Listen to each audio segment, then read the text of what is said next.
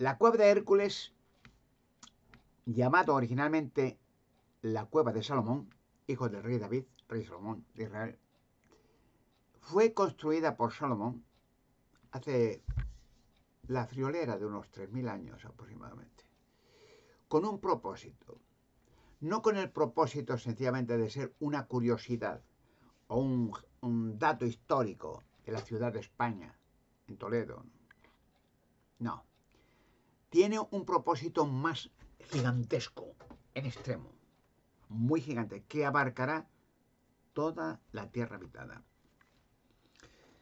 Poca gente sabe de la Cueva de Hércules. Toledo quizás así, sabe mucha gente porque ahí es donde va a empezar todo.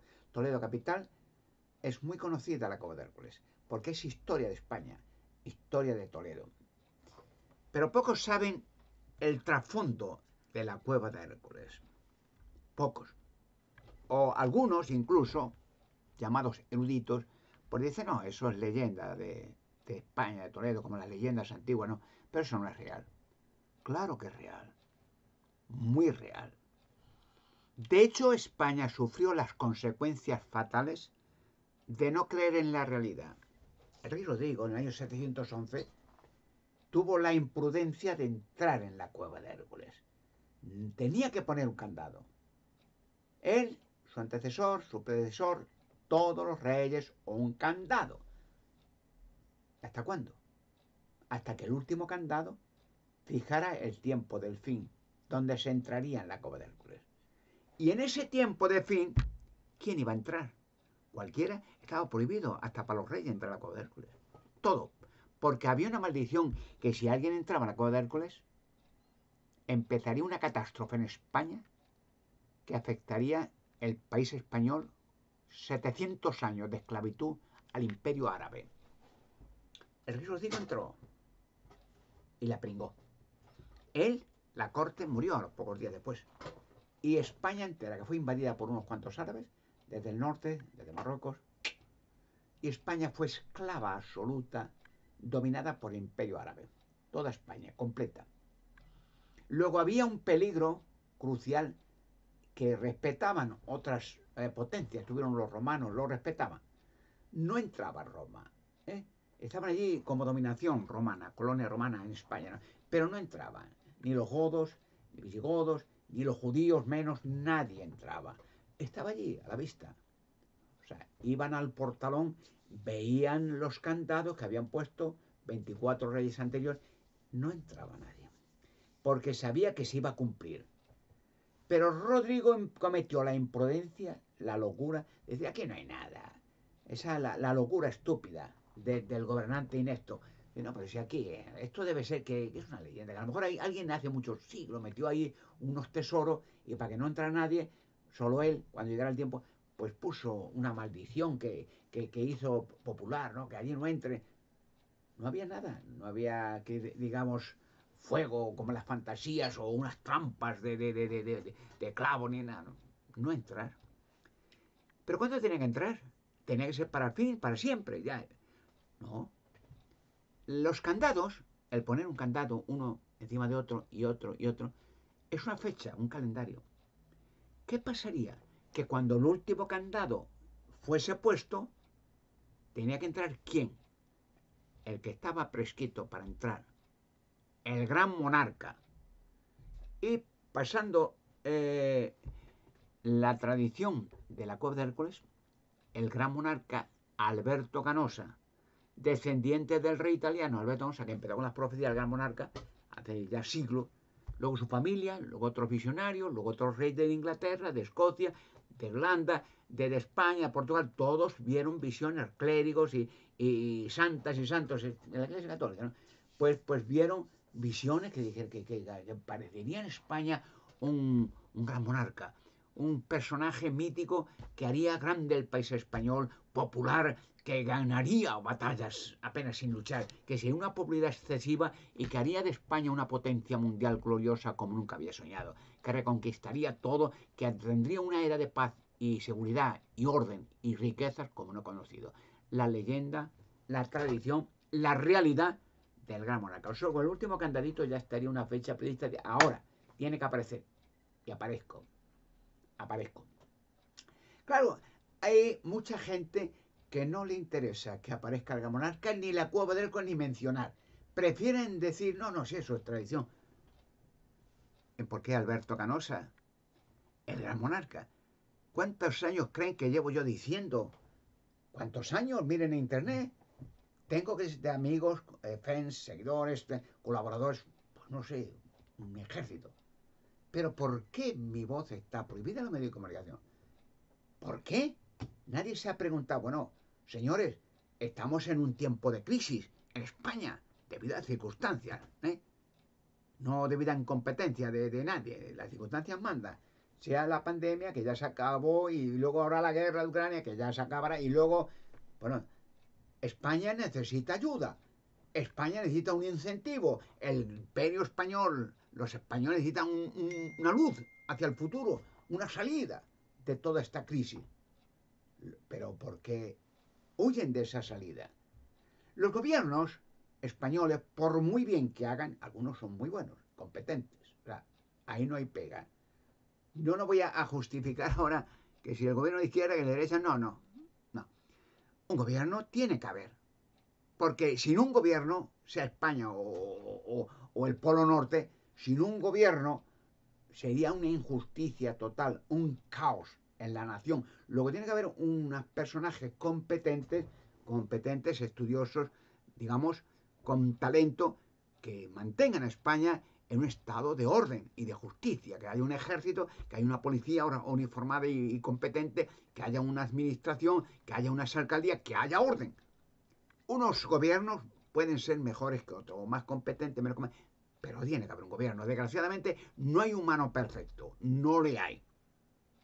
Luego Dios no puede poner hombres perfectos cuando de momento no le, aunque en un futuro todos seremos perfectos, mental y físicamente. Pero cuando a la cueva de Hércules, ¿qué ocurre? ¿Qué pasará cuando entre en la cueva de Hércules? Ahora póngase en este aspecto. Me tendrán que dejar entrar, me tendrán que dejar y lo, hasta me lo pedirán, por favor, que yo hable de la medicación. Es la, el asunto no es complejo, ¿eh? No piense, bueno, la cueva eso es un problema que habrá que rebuscar. No, no. Toledo, capital, está llena de túneles. Lo sabe todo el mundo. No se explican. Pero estos túneles, ¿quién los ha hecho? Son laberínticos. Pero debajo de Toledo hay a varias alturas túneles, como en Sacsayhuamán, parecido, túneles que van a parar a, kilómetros afuera de Toledo. El túnel que más largo yo he, visitado ha sido en el túnel de la finca de Gares, en Motejón. Un túnel de, no sé los kilómetros que va de Toledo, 7 kilómetros o 10 pero ese túnel llega hacia el centro de y luego sale a varios kilómetros afuera, pero a varias alturas. Nadie se ha preguntado, ¿esos túneles para qué son? Porque si alguien entrara que no fuera yo, no llegaría nunca a la cueva del Y si llegara, que no llega, allí hay preparado un robot hecho por Salmón, gigantesco, indestructible, que destruya cualquier extraño que entre en la cueva del Porque los robots, el robot está programado de visión y de, de audición para oír la voz del gran monarca.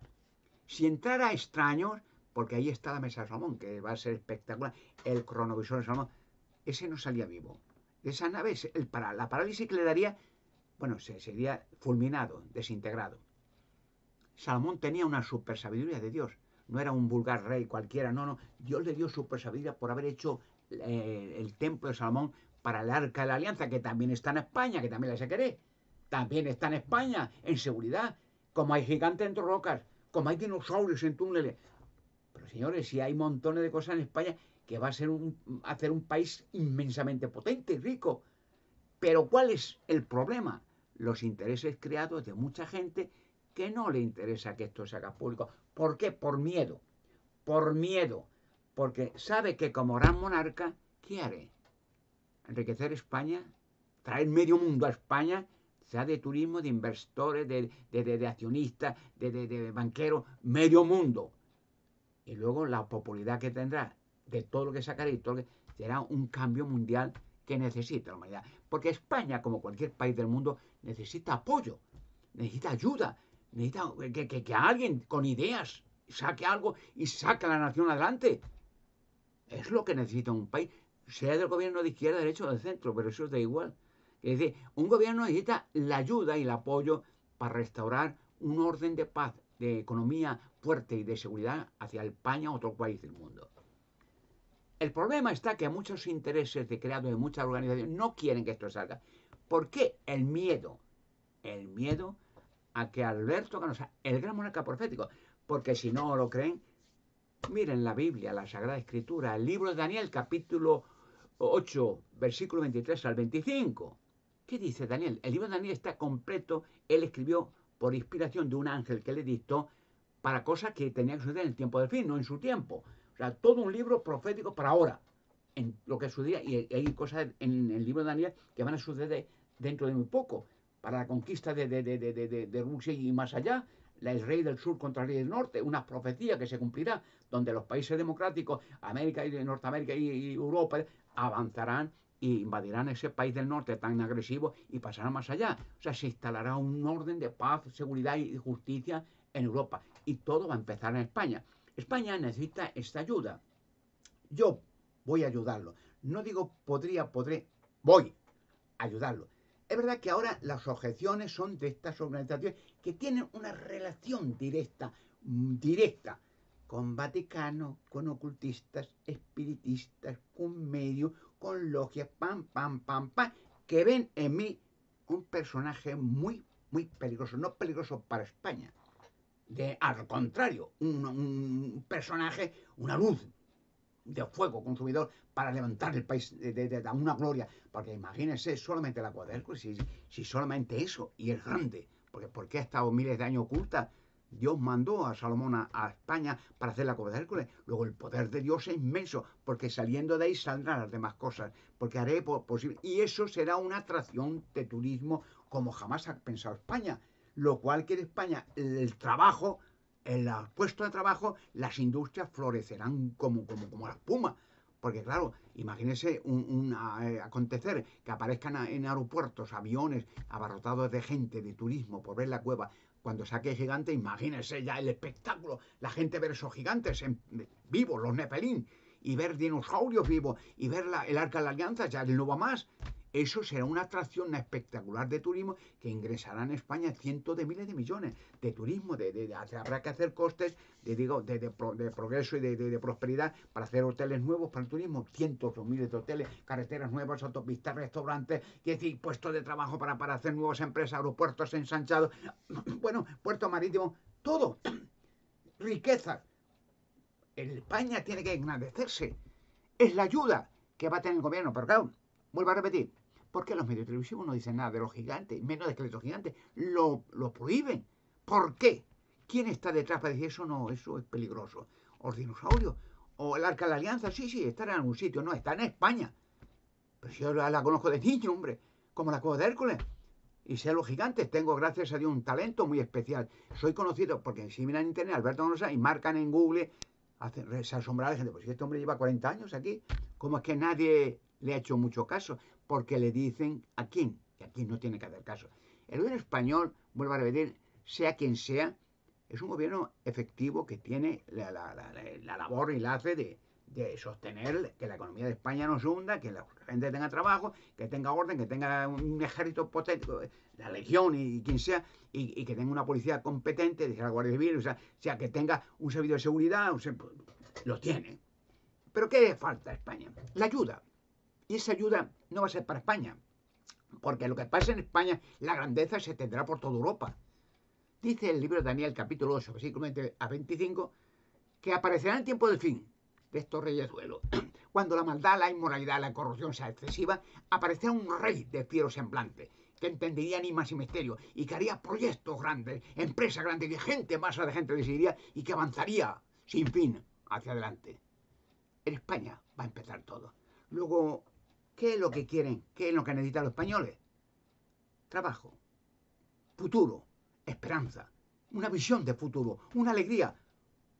Y eso es lo que necesita la gente, levantarse cada mañana y decir, aquí vamos a salir ya por fin del agujero, al fin vamos a tener esa España soñada de otros tiempos cuando no se ponía el sol en España. Será ahora en el tiempo al fin porque solamente el hecho de que Dios haya escogido a España para tener de la alianza en un lugar seguro es porque vio Dios, Jehová Dios, el Dios de la Biblia, que Dios vio en España una nación poderosa en el tiempo así, que sería una luz potente hacia todas las naciones. Esto va a suceder. España tiene ya esa ayuda. Y no se preocupe, que aunque los gobiernos o quien sea pusieran objeciones, Dios tiene poder suficiente para decir, ahora esto sale y saldrá. Prepararos que en España empieza lo mejor, lo más maravilloso que jamás hubierais soñado.